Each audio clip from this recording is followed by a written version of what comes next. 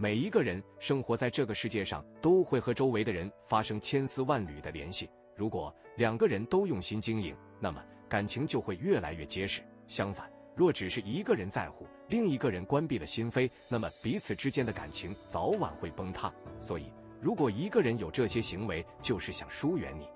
这里是国学典籍，带您解读俗语，走进国学，在你面前变得沉默。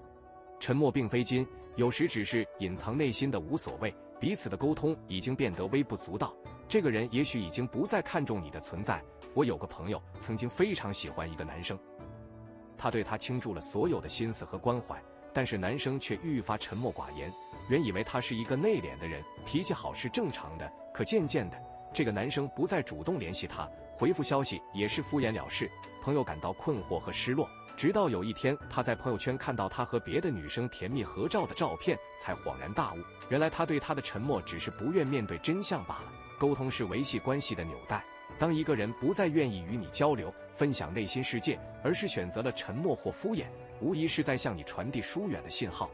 经常推脱你的邀约，你来我往的情谊，才值得我们用心维系和珍惜。对于一个想疏远你的人来说，推脱你的邀约就是他们传递给你的信号。当你热情的想要和他们见面聚餐时，或是打算串门共同逛街旅游时，他们总是缺乏兴趣，不断的推辞，让你倍感受挫。例如，找借口说自己有事走不开，或者总是说改天再说吧。对你更明显的疏远，莫过于拒绝你以后不做任何的解释和心理上、行动上的补偿。打算远离你的人，当然不会在乎你的感受。如果担心失去你，就会在事后主动联系你，解开心里的疙瘩和误会，或者挤出时间和你见面，一直回避你的邀约，就是想让你知难而退。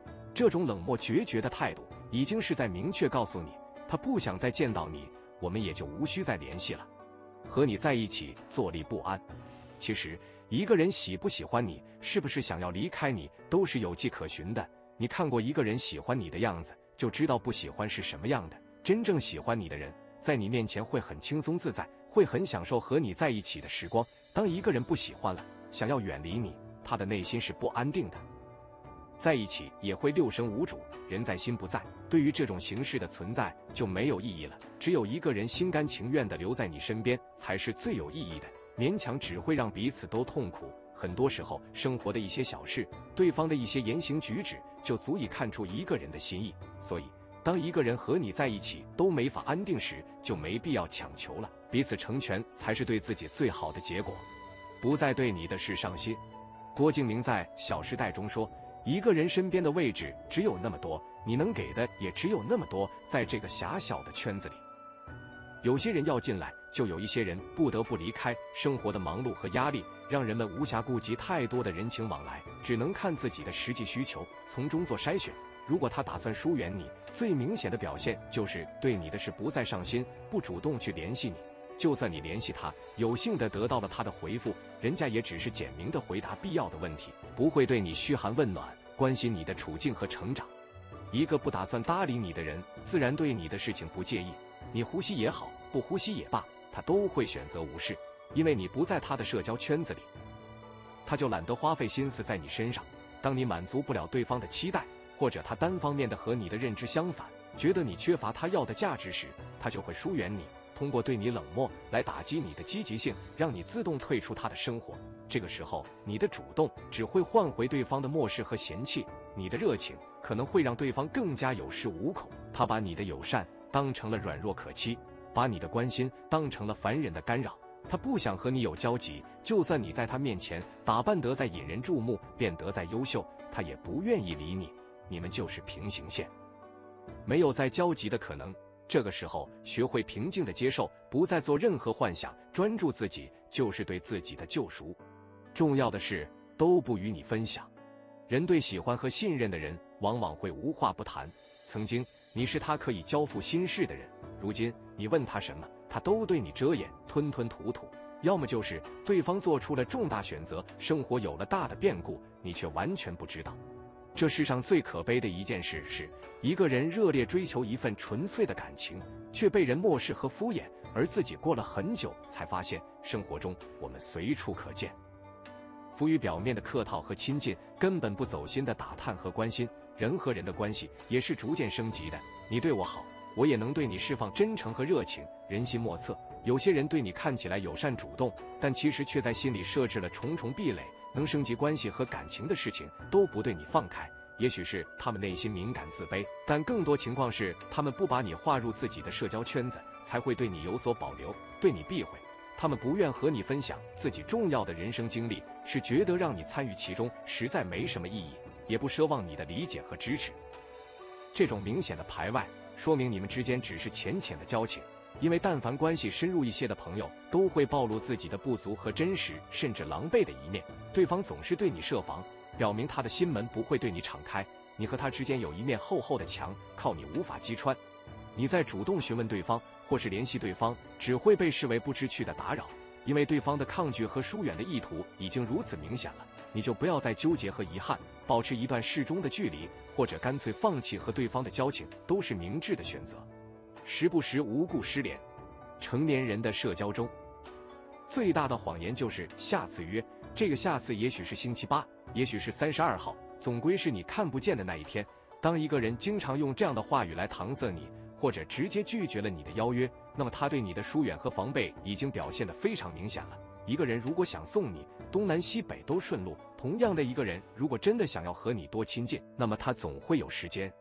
有人说，一个人在回避、在冷漠，也会让自己在意的人找到他。如果你时不时发现对方无故失联，或是很久才回复你的消息，说明他可能排斥或是厌恶你的亲近，可能是他不喜欢和你经常聊的话题，也可能他对你这个人还处于警惕和不认可的阶段，所以才会做出失联这样的举动来婉拒你的邀约。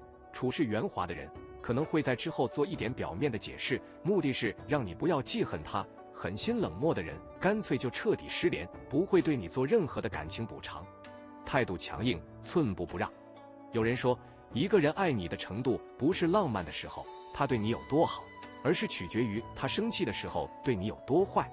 确实，一个人如果心中有爱，那么他的心一定是温柔的，对你他无法做到强硬，更不会肆无忌惮的伤害你。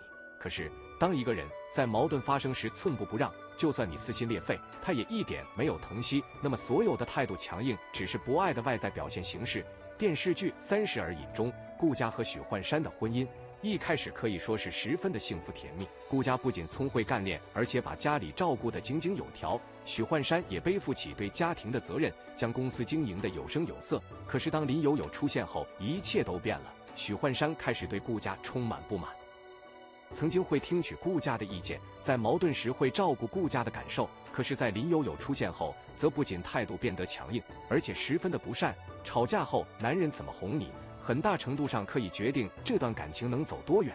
倘若每次发生矛盾，他想得不再是如何缓解矛盾，而是用最强硬的态度逼你妥协，用最痛的方式伤害你。所有这些变化，不是别的，而是不爱了。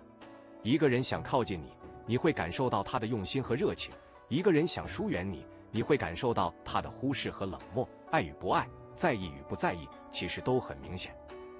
如果一个人有以上行为，说明他想和你保持距离，结束你们的关系。既然如此，就没必要纠结了。缘分来了就珍惜，结束了就放弃，做一个承受得起、放得下的洒脱的人，这样才更值得被爱，才更享受生活。人际交往最稳定的方式是齐头并进，互为依靠。如果有人要故意甩开你，也别抱怨气愤，因为我们没必要浪费感情在不值得的人身上，专注于自己的生活，远离那些疏远我们、消耗我们热情的人，才是聪明人的选择。